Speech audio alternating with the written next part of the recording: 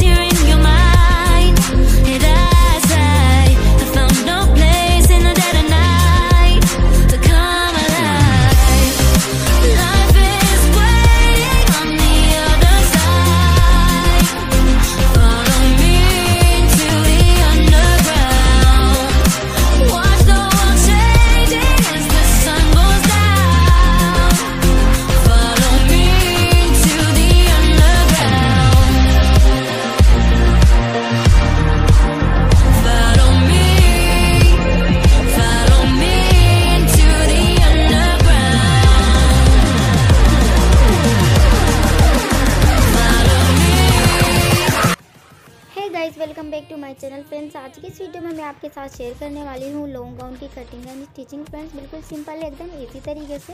तो इसको बनाने के लिए यहाँ पे फ्रेंड्स मैंने थ्री मीटर फैब्रिक ले लिया है और फैब्रिक जो है, हमारा क्रैप फैब्रिक है।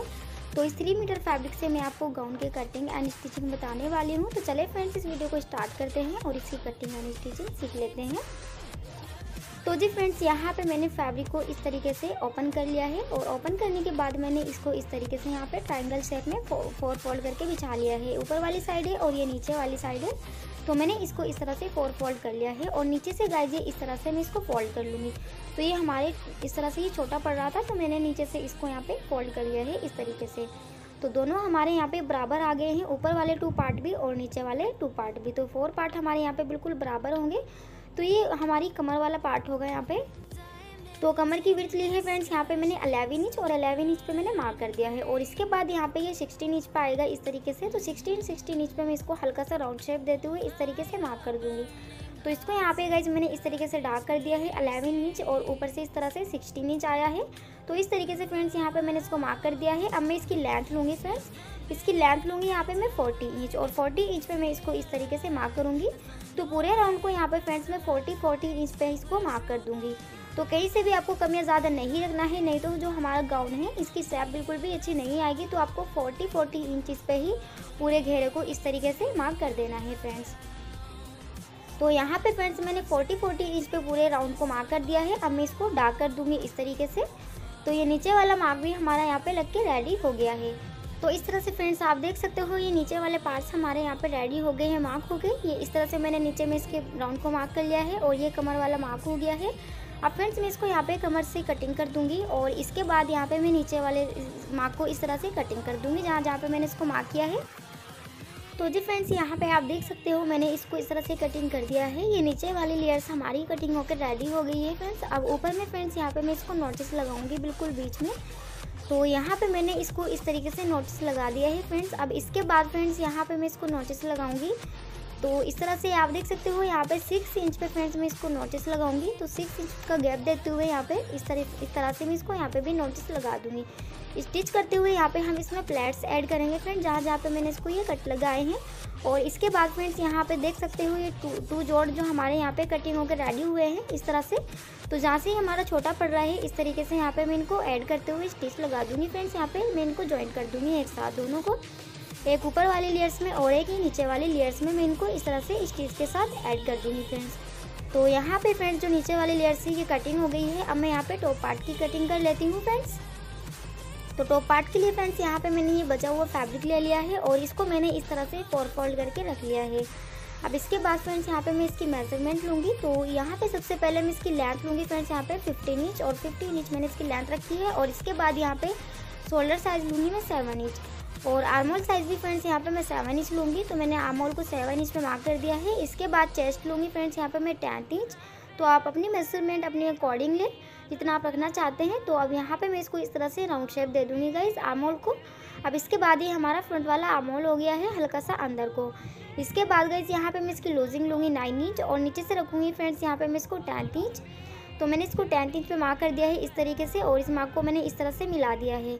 अब इसके बाद फ्रेंड्स यहाँ पे मैं नेक को मार्क कर लूँगी तो नेक की विड्थ लूँगी मैं यहाँ पे थ्री इंच और थ्री इंच पे मार्क कर दिया है।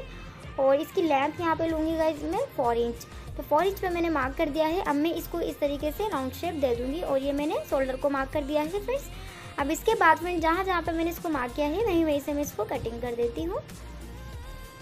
तो इस तरीके से फ्रेंड्स यहाँ पे मैंने इसको कटिंग कर दिया है, जहाँ जहाँ पे मैंने इसको मार्क किया था। अब इसके बाद फ्रेंड्स यहाँ पे नीचे के कॉर्नर को मैं इस तरह से वन इंच का गैप देते हुए फ्रेंड्स इस तरह से मैं मार्क कर लूँगी। तो मैं यहाँ पे इसको लो रखूँगी वन इंच तो ताकि जब हम इसको यहाँ पे स्टिच करें और पहने तो ये कॉर्नर से इसके लटके नहीं। तो इस तरीके से मैं इसको हल्की सी राउंड शेप दे दूँगी फ्रेंड्स तो इस तरह से मैंने नीचे से इसको कटिंग कर दिया है फ्रेंड्स अब इसके बाद बीच में मैंने इसको नोटिस लगा दिया है इस तरीके से। अब इसके बाद फ्रेंड्स, यहाँ पे सिक्स इंच पर मैं इसको नोटिस लगाऊँगी। जैसे कि मैंने नीचे वाली लेयर्स को नोटिस लगाया था तो यहाँ पे मैंने इसको नोटिस लगा दिया है। तो यहाँ पे फ्रेंड्स, हमारा जो टॉप पार्ट है, ये कटिंग होकर रेडी हो गया है। अब इसके बाद गई यहाँ पे मैंने स्लीव्स को ऑलरेडी कटिंग कर लिया है। इसके बाद स्लीव्स के नीचे वाले पार्ट हो गए हैं, फ्रेंड्स, क्योंकि मैं डिज़ाइनिंग स्लीव्स बनाऊँगी। तो इस तरह से मैंने इसकी विथ ली है टेंथ इंच फ्रेंड्स और यहाँ पे इसकी लेंथ ली है फ्रेंड्स यहाँ पे मैंने फाइव इंच इस तरीके से आप देख सकते हो, ये हमारी टू पार्ट हो गई है ऊपर वाले और इसके बाद यहाँ पे टेंथ इंच मैंने इसकी लेंथ ली है और टेंथ इंच इसकी विथ ली है। तो टू पार्ट बड़े होंगे फ्रेंड्स यहाँ पे हमारे टू पार्ट छोटे होंगे। इस तरीके से स्लीव्स को मैंने पहले ही स्टिच भी कर लिया है इस बीच में इस तरह से डिज़ाइन लगाते हुए। अब इसके बाद फ्रेंड्स यहाँ पे मैं स्लीव्स के अकॉर्डिंग इसको इस तरह से मार्क कर लूँगी और यहाँ पे नोटिस लगा दूँगी। तो इस तरीके से यहाँ पे गाइस फोर पार्ट होंगे हमारे। टू पार्ट यहाँ पे मैंने छोटे लिए हैं और टू पार्ट बड़े लिए हैं। इस तरीके से यहाँ पे ये स्लीव्स हो गई है। हमारी फ्रेंड्स देख सकते हो, ये ऊपर वाली लेयर्स हो गई है और इसके बाद ये बड़े वाली लेयर जो चारों तरफ़ से हमारी टेंथ इंच की है, ये मैंने नीचे वाली लेयर्स ले ली है। तो स्लीव्स भी रेडी हो गई है कटिंग हो गई। अब मैं इसको स्टिच करना स्टार्ट करती हूँ फ्रेंड्स स्टिच के लिए यहाँ पे मैंने लेस ले ली है और मैं इस तरह से इसमें यहाँ पे प्लेट्स ऐड करूँगी फ्रेंड्स एक का मुँह मैं इधर करूँगी और एक का इधर करूँगी।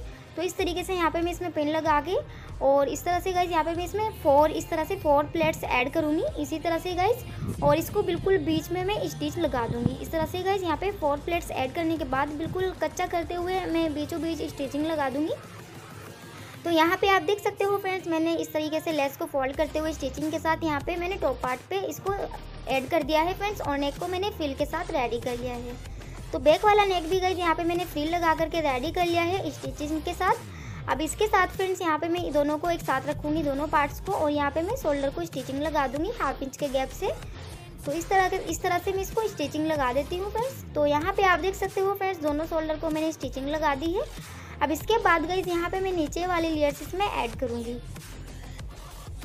तो लियर्स फ्रेंड्स, यहाँ पे मैंने इस तरह से ले ली है और जहाँ जहाँ पे मैंने मार्क किया था, वहीं पे मैं इसको प्लेट ऐड करूँगी। तो सबसे पहले यहाँ पे गाइज़ इस तरह से आप देख सकते हो, जो मैंने यहाँ पे ये जोड़ कटिंग किया था, ये मैंने इसमें ऐड कर दिया है स्टिचिंग के साथ। अब जहाँ पे मैंने नोटिस लगाया था, वहीं पर मैं इसमें ये प्लेट ऐड करूँगी। तो दोनों का मुँह मैं एक दूसरे की साइड पर रखूँगी इस तरह से फ्रेंड्स और यहाँ पर मैं पिन लगा दूँगी इस तरह से। और इसके बाद जो दूसरे वाला यहाँ पे हमारा नोटिस होगा, वहाँ पे भी मैं सेम इसी तरह से इसमें प्लेट ऐड करूँगी और यहाँ पे भी मैं पिन लगा दूँगी और पिन लगाने के बाद गई यहाँ पे मैं इसको स्टिचिंग के साथ सेट कर लूँगी। तो सेम इसी तरह से दूसरे वाले नोटिस को भी गई यहाँ पे मैं प्लेट्स इसमें ऐड करूँगी। तो थ्री प्लेट्स यहाँ पे हम इसमें ऐड करेंगे और अलग अलग बोले तो यहाँ पे सिक्स प्लेट इसमें ऐड होंगी। तो इस तरीके से फ्रेंड्स यहाँ पे मैं इसमें प्लेट्स ऐड करते हुए स्टिचिंग लगा लूँगी। हाफ़ इंच के गैप से अच्छे से मैं इसको सेट कर लूँगी स्टिचिंग के साथ। तो यहाँ पे फ्रेंड्स आप देख सकते हो, मैंने इसको स्टिचिंग लगा ली है। इस तरह से प्लेट्स मैंने इसमें ऐड कर दी है। अब इसके बाद गई यहाँ पे मैं टॉप पार्ट लूँगी, जो कि मैंने रेडी कर लिया है गाइस तो टॉप पार्ट्स मैंने इस तरह से ले लिया है फ्रेंड्स और इसके बाद यहाँ पे मैं टॉप पार्ट को इस तरह से रखूँगी। और जो टॉप पार्ट का नोटिस होगा फ्रेंड्स यहाँ पे, इसको मैं इस तरह से प्लेट के, बिल्कुल प्लेट के बीचों बीच लाऊँगी, इस तरीके से फ्रेंड्स और यहाँ पर मैं स्टिचिंग लगा दूँगी। तो यहाँ पे आप देख सकते हो फ्रेंड्स, मैंने इस तरह से स्टिचिंग लगा दी है और बैक वाले पार्ट को भी मैंने सेम इसी तरह से इसमें ज्वाइंट कर दिया है। अब इसके बाद गए यहाँ पे मैं स्लीव्स रेडी करूँगी। तो स्लीव्स ले ली है फ्रेंड्स मैंने कुछ इस तरीके से और इसके बाद जो लेयर्स है यहाँ पे लेयर्स को मैं इस तरीके से फोल्ड करूँगी फ्रेंड्स। तो जहाँ पे मैंने नोटिस लगाया था, वहीं से मैं इसको फोल्ड करना स्टार्ट करूँगी फ्रेंड्स और इसके बाद मैं इसको यहाँ पे चारों तरफ़ से इस तरह से बारीक बारीक सा फोल्ड करते हुए स्टिचिंग के साथ रेडी कर लूँगी फ्रेंड्स।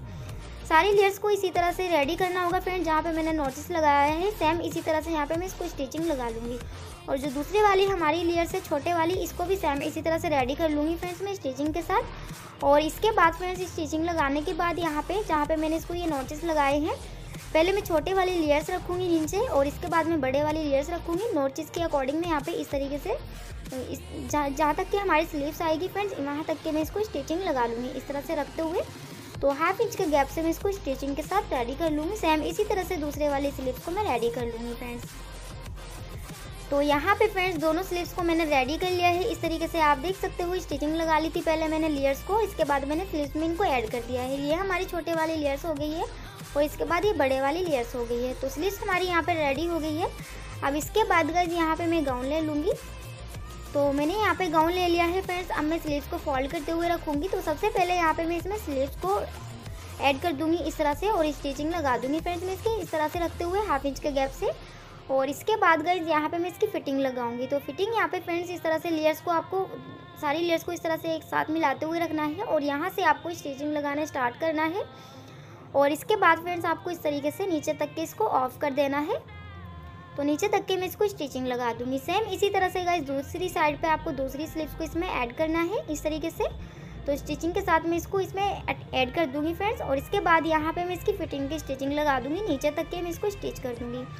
और इसके बाद फ्रेंड्स यहाँ पे नीचे में मैं इसको पिको कर दूँगी। आप चाहो तो फ्रेंड्स यहाँ पे इसको फोल्ड भी कर सकते हो तो मैं यहाँ पे पिको कर दूँगी। तो यहाँ पे आप देख सकते हो फ्रेंड्स मैंने इसमें स्लीव्स इस तरह से ऐड कर दी है, और इसके बाद यहाँ पे मैंने इसकी फिटिंग लगा दी है दोनों साइड से फ्रेंड्स इस तरीके से आप देख सकते हो, नीचे तक के हमारा जो गाउन है ये ऑफ़ हो गया है। और इसके बाद फ्रेंड्स यहाँ पे मैंने नीचे में इसको पिको कर दी है। आप चाहो तो स्टिचिंग वगैरह लगा सकते हो तो पिको से काफ़ी बेटर लुक लग रहा है इसका। तो मैंने पिको कर दी है नीचे में, और यहाँ पे जो हमारा गाउन है फ्रेंड्स ये रेडी हो गया है। बिल्कुल सिंपल सा है, एकदम फैंसी सा पार्टी वेयर गाउन है फ्रेंड्स तो इस तरीके से फ्रेंड्स आप मेरा ये वीडियो देखने के बाद आप थ्री मीटर फैब्रिक से इस तरह का गाउन रेडी कर सकते हो। बिल्कुल सिंपल है, एकदम और ईजी है। तो आइयो फ्रेंड्स, आपको मेरा ये वीडियो अच्छा लगा होगा। और अगर आपने अभी तक के चैनल को सब्सक्राइब नहीं किया है तो चैनल को ज़रूर से सब्सक्राइब कर दीजिएगा और बेल आइकन को भी ऑन कर दीजिएगा ताकि मैं आपके लिए और भी अच्छे अच्छे न्यू न्यू डिज़ाइन लेकर आती रहूँ। तो मिलती हूँ नेक्स्ट वीडियो में न्यू डिज़ाइन के साथ, न्यू आइडियाज़ के साथ। तब तक के लिए बाय बाय टेक केयर, अल्लाह हाफिज़।